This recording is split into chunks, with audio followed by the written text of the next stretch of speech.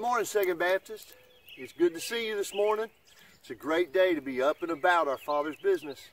Now, I want you to know that this old fire is starting to die, and that's okay because when it's died, this old pile of dirt right here is going to be piled back on top. One of the things that I've learned is that when you have a fire, the heat from that fire actually sterilizes the ground all the way down underneath. Kills a lot of those microbes.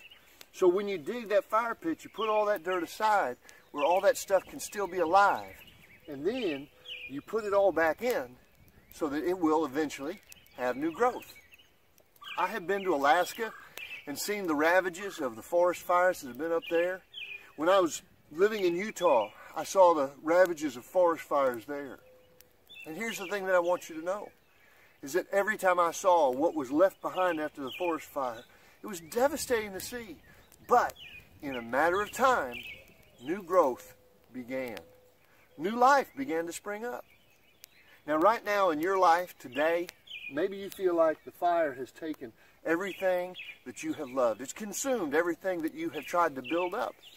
And you're not sure how you're going to keep moving forward.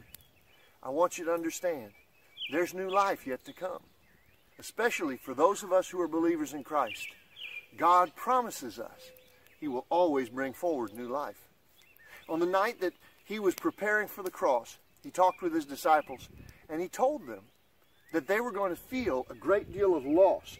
That what's going to happen was he was going to be consumed by the anger and the hate.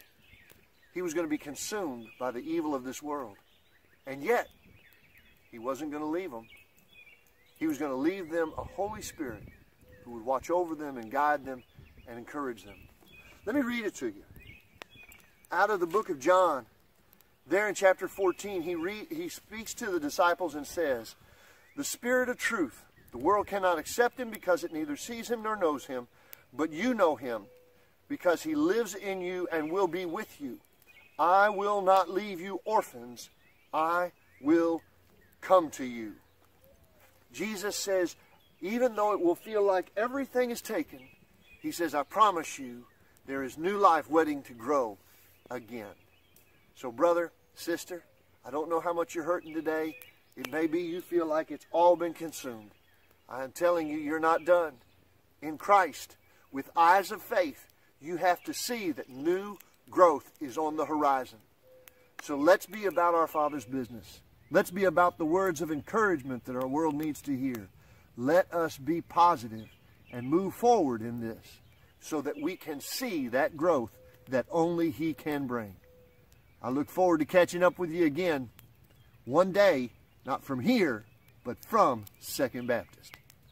Take care and have a great day.